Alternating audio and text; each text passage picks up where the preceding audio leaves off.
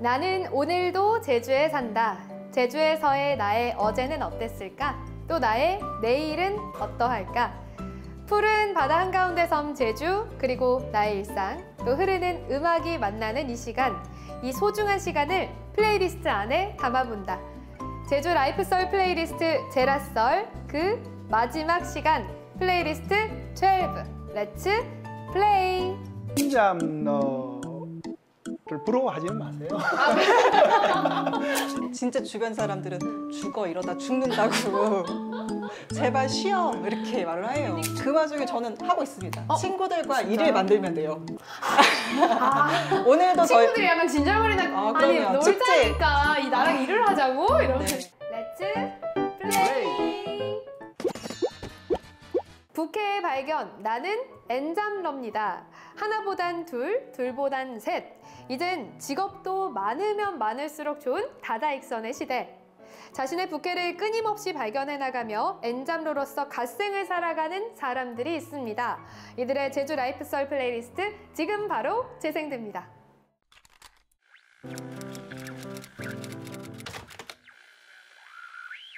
저희 엔잠로 두 분을 모셨는데요. 홍성민님 그리고 조경진님과 함께 하겠습니다. 어서 오세요. 함덕에서 어, 여행 사업을 하면서 여러 가지 뭐 숙소, 음식업, 레저 같은 여러 가지 일들을 안에서 엔잡을 하고 있는 대월회관의 대표를 맡고 있는 홍성민이라고 합니다. 안녕하세요. 저는 제주 노을이 아름다운 서쪽에 살고 있는 어, 귀덕 주민 오늘의 엔잡너 조경진입니다.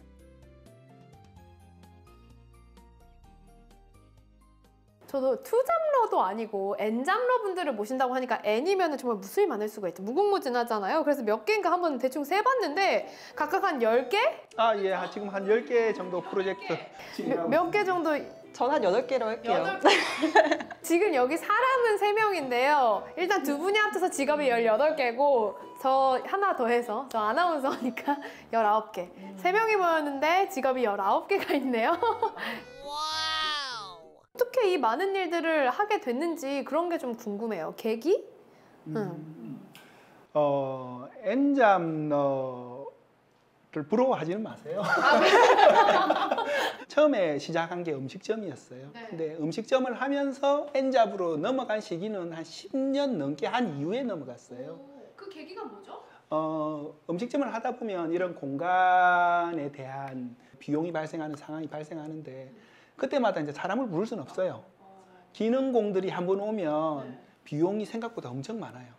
그렇겠죠. 예, 그러다 보니까 이제 그것들을 어떻게 하면 스스로 할 수 있을까를 찾다 보니까 이제 여러 가지 일들을 할 수 있는 능력들이 이제 생기는 거예요. 어, 와, 정말, 그러니까 재능이 많으니까 또 가능한 거죠. 누구나 또 그렇게 되는 건 아니니까. 우리 경진님 같은 경우에는 어쩌다가 이렇게 다양한 일을 하게 됐어요?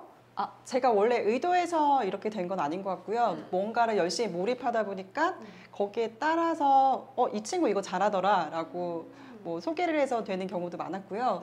어, 라이브 커머스 교육을 받던 친구분이 너 이 일 너무 잘할 것 같아 해서 연결해서 같이 축제 기획도 하고 네, 이런 식의 저는 소개와 약간 다단계성 네, 다단계예요, 진짜. 아름아름. 예, N잡이 아름. 다단계로 이렇게 늘어나십니다. 네. 좋은 단어 아름아름. 아름아름 이렇게. 두 분은 휴가가 있어요? 쉬는 날이 있어요? 어제 스케줄이 11시에 끝났거든요. 근데 오늘 아침 4시 반이면 네. 고양이가 그때 애묘인들 아실 거예요. 그때 일어나거든요. 네네. 그래서 4시 반에 일어나서 아침 운동 갔다 오고 이제 또 뭐 전시회 준비하고 여기 나온 거예요. 그니까 이게 오늘 촬영 당일에도 이미 막 오전에 뭔가 일을 막 하고 오셨고 또 끝나고 또 어디 일을 간다고 하시고 아까 우리 성민님 같은 경우에는 촬영 대기 중에 막 전화가 한 한 다섯 번이 울렸어요. 네 네. 어, 지금 바쁜데요. 나중에 하면 안 될까요? 내일이나? 그러니까 이렇게 막 연락 받고 이런 일들도 엄청 많으실 것 같아요. 하루가 그러니까 하루 일과가 어떻게 돼요? 좀 일찍 일어나요. 한 5시에서 6시 사이에 일어나는데 그러면은 지원 사업들도 그렇고 마을에 제안해 놓은 사업들 이런 서류 작업들을 오전에 거의 다 해요. 12시 정도 되면은 이제 가게 저녁 장사 준비를 이제 해로 내려가는 거예요. 와 네, 준비 좀 해놓고 한 4시까지 쉬고 4시부터 이제 스탠바이만 하는 거예요. 저녁 장사를 위해서. 네. 위해서. 그 사이에 이제 숙박이나 이런 것들은 이제 와이프가 관리를 하고 네. 스케줄로 보면은 한 6시부터 시작해서 저녁 한 10시 반, 11시까지 이렇게 이렇게 이제 매일 매일을 그렇게 이제 돈다고 보시면 돼요. 그러니까 새벽 6시부터 네. 밤 10시까지. 그러니까 공식 이제 업무 시간 예. 사이에 살짝 쉬고. 경진님의 일과는 어떠신가요? 아까 뭐 4시 몇 분에 일어난다고 하셨는데? 저희 집에 제가 고양이랑 같이 네. 살고 있거든요. 저희 고양이가 4시 반이면 깨서 밥을 달라고 해요. 어. 그래서 그때 일어나서 밥을 주고 뭐 운동을 간다던가 아니면 하루 이제 일과 정리하고 그 다음에 스케줄을 시작하는데 전 요일별로 분리를 해서 일을 하고 있기는 해요. 아. 네, 마을에서 뭐 유튜브 강좌 지금은 그 마을 해설사 양성 과정이어서 음. 그 해설사의 유튜브 촬영을 지금 하고 있어요. 그래서 그게 화요일, 목요일, 그리고 내일이죠. 네. 그리고 오늘 같은 경우에도 뭐 펜션 청소하고 나와서 뭐 전시회 준비하는 건 유소년 스포츠에서 하는 네. 거거든요. 그거 준비하고 와. 어제 같은 경우에 유소년 스포츠에서 그 제주 유나이티드 클럽하우스도 가고 경기 관람도 하고 그렇게 요일별로 잘라서 일을 하고 있긴 한데 그래도 시간이 조금 없긴 하지만 그 와중에 틈틈이 이런 좋은 분들도 만나 뵙고 또 재밌는 일들도 많이 하고 있어요. 아니 두 분은 약간 방송을 나와주신 게 지금 기적인데요. 저희 이 시간을 이렇게 짬내서 나와주셔서 너무 감사드리고 약간 두 분은 하루 24시간인 게 정말 그 24시간이 모자라 약간 깔아주세요. 24시간 진짜 뭐 하루가 몇 시간이었으면 좋을 것 같아요. 아, 더 있었으면 좋겠어요, 그쵸? 사실은. 네, 너무 조금 부족하실 것 같아요. 네, 좀 아쉬워요. 아니 그리고 또 놀라운 게요. 경진님은 여기에 더해서 또 해녀학교 출신이래요. 아, 네. 저 해녀학교를 한수풀 해녀학교를 나왔는데 입문반도 나오고 직업반도 나왔어요. 근데 거기에서 조금 에너지를 많이 얻었던 것 같아요. 거기 그 보통 해녀학교는 많은 사람들이 생각할 수 있잖아요. 근데 실행해서 내가 도전해보겠다라고 하는 사람들이 별로 없을 거예요. 근데 다 그런 친구들의 그런 에너지를 다 모아놓은 그런 응축덩어리다 보니까 정말 너무 재밌었어요. 저는 누군가 뭐 도전하고 싶다 그러면 도전해서 꼭 해녀학교 한번 다녀보셨으면 좋겠다고 생각을 했고 그리고 지금 제가 너무 바빠서 해녀를 못 하고 있긴 하지만은 제 자리에서 해녀를 알리고 홍보할 수 있으면은 많이 하고 싶어요. 정말요? 아니 그러면 언젠가 이 지금 아까 그 여덟 개 그 엔잡에 더해서 또 하나 추가될 수도 있는 거네요. 해녀가. 꿈이에요. 네, 그쵸? 너무 어쨌든. 직업반까지 나오신 거니까 직업 네. 해녀로서도 또 활동을 하실 수 있는 거잖아요. 와. 그럼 이렇게 좀 여러 일을 하다 보면 좀 유독 애정이 가는 일도 있나요? 어, 저는 사업을 여행 사업을 하는 이유가 그런 거예요. 여러 사람들을 만나보고 여행 사업이 한 분야만 하는 사업이 아니에요. 보면은 어, 레저를 하시는 분들이 필요한 공간을 마련해 드려야 되고 온라인에서 일도 해야 되고 홍보도 해야 되고 그냥 복합적으로 여러 사람들을 만나 가지고 그 사람들을 조합하는 일을 해보니까 이게 이제 저한테 적성에 맞아요. 결과를 잘 만들어냈을 때의 어떤 성취감, 인정에 대한 욕구 그런 것들이 저한테는 음, 경진님은 어떠신가요? 제가 지금 어, 마을에서 마을 활동가 일을 하고 있는데 네. 그 일이 좀 애정이 많이 가기도 해요. 귀덕에서 귀덕 주민으로서 내가 뭘 할 수 있을까 음. 처음에 그런 생각을 하고 마을 축제도 기획하고 네. 그러면서 뭐 마을 투어도 준비하고 이런 게 좀 애정이 가는 것 같아요. 주민으로서 제가 좀 애착도 많이 가고 그러면서 기획에 대한 게 항상 생각하고 하는 게 이런 쪽 마을 일쪽이 맞지 않나 싶습니다. 네. 선전적인 기획자세요. 제가 진짜요? 얘기를 해보면 맞아요. 아까 전에도 이 방송국 약간 이 돌아가는 거에도 관심이 많으셔서 언젠가 도전하실 것 같은데 촬영 전에도 어, 카메라 감독님 멋있어 보이는데요. 멋있으세요. 그리고 약간 PD님 어. 멋있어 보이는데요. 멋있으세요. 이러고 저한테도 약간 어 아나운서 제가 섭외하고 싶어요. 이러셔서 네. 어, 언젠가 이쪽도 도전하시는 건가요? PD 감독? 아, 제가 섭외해서 이분들하고 뭔가 하고 싶네요. 재밌는 거 하고 싶어요. 아 그래요? 네, 좋아요. 언제든 연락 기다리고 네, 있을게요. 알겠습니다. 아 근데 여기서 좀 저는 이제 궁금해지는 거 주변 사람들의 반응은 어때요? 아 좀 쉬어라 뭐 이런 말 분명히 하실 것 같아요. 이게 특히나 또 애정 있는 가족분들 같은 경우에는 너 건강 괜찮니? 밥은 먹니? 이런 말도 하실 것 같은데 반응이 딱두 가지로 나뉘어요. 처음 네. 본 사람들은 아까 아나운서들 네. 어 부러워요, 멋지세요 이렇게 말씀하실 수도 있는데 네. 진짜 주변 사람들은 응. 죽어 이러다 죽는다고 제발 쉬어 이렇게 말을 해요. 그러니까요. 네. 건강 검진 잘 하시고 아, 네. 네. 저도 네 잘하겠습니다. 서민님 같은 경우에는 주변에서 뭐라 하세요? 주변은 잘 몰라요. 제가 이렇게 막 움직이는 거는 마을 내에서 있는 분들은 잘 모르고 제가 어, 사업적인 관계 말고는 친구들이 많이 없어요. 어, 근데 이제 제일 걱정을 많이 하는 건 가족이죠. 와이프하고 어머니. 이제 제가 이렇게 일을 하는 걸 알고 하니까 딱 두 사람만 말려요. 하지 말라고 좀. 아 딱 두 사람 예, 두 사람만.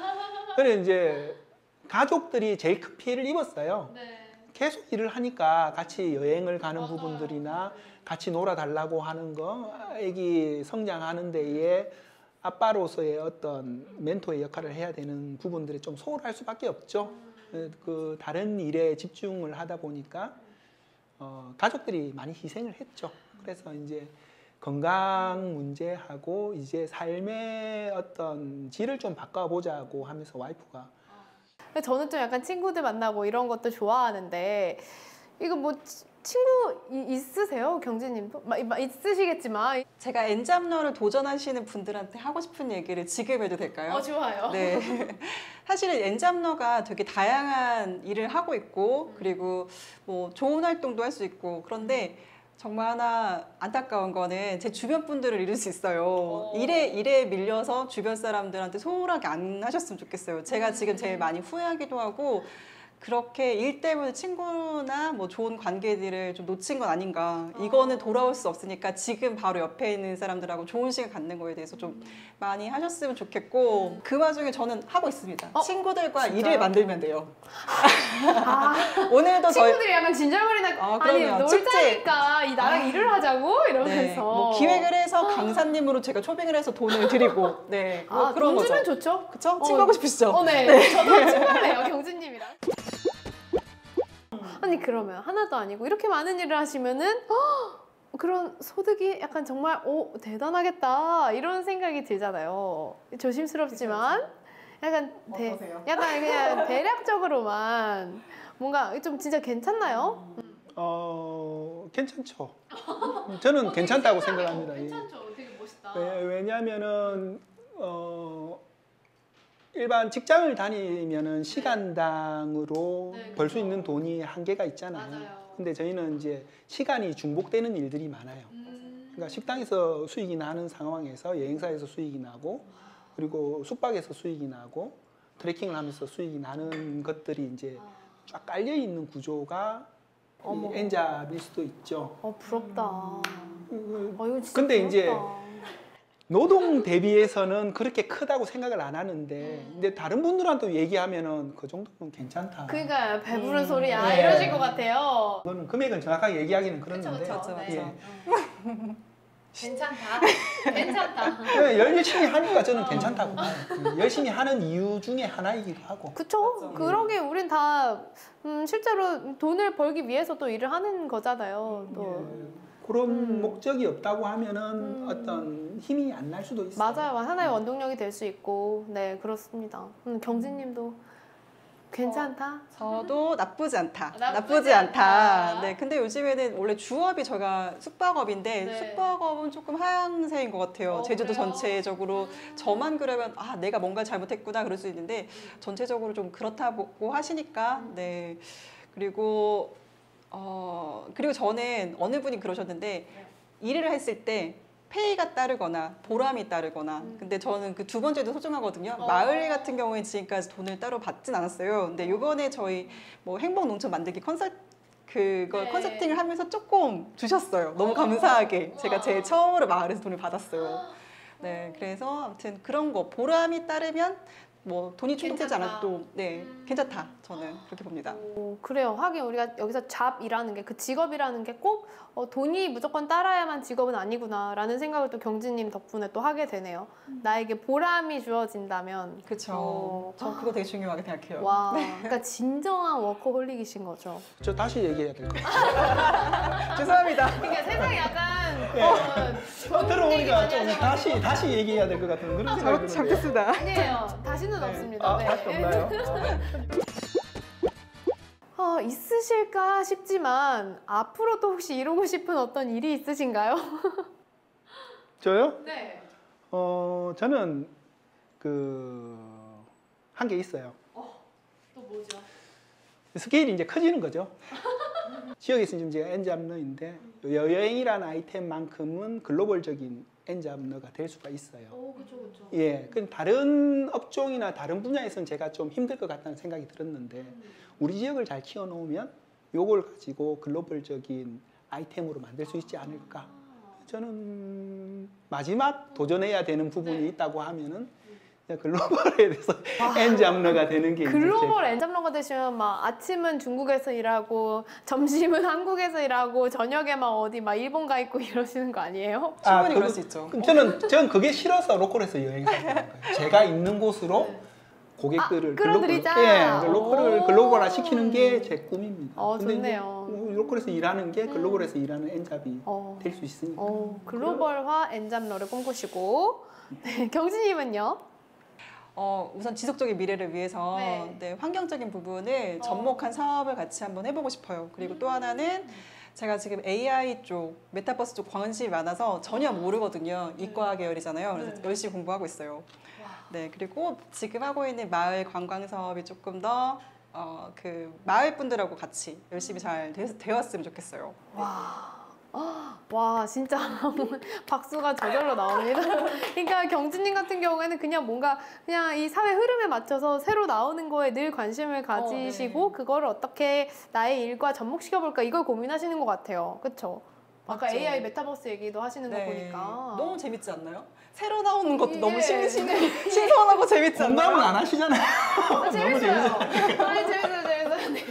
막 재밌어요. 배우고 싶지 않나요? 막 배우고 싶고. 오늘 약간 소외감이 살짝 들기도 했지만, 네, 그래도 우리 엔잡러 분들과 약간 자극 제대로 받아보는 시간 된 거는 분명한 것 같습니다. 아까 얘기해주신 그 두 분의 꿈도 꼭 이루시기를 바라고, 엔잡러로서 이제 더 많은 N 플러스 알파를 넘보일 수 있는 진정한 엔잡러를 응원하도록 하겠습니다. 오늘 너무 말씀 감사드립니다. 감사합니다. 네.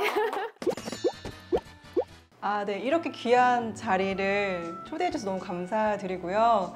너무 부족했어요, 제가. 근데 다른 분들도 훨씬 많은 엔잡러들이 있는데 그 와중에 또 이렇게 나오게 되어 너무 영광입니다. 너무 재밌었고요. 어, 아나운서분 왜 이렇게 예쁘신가요?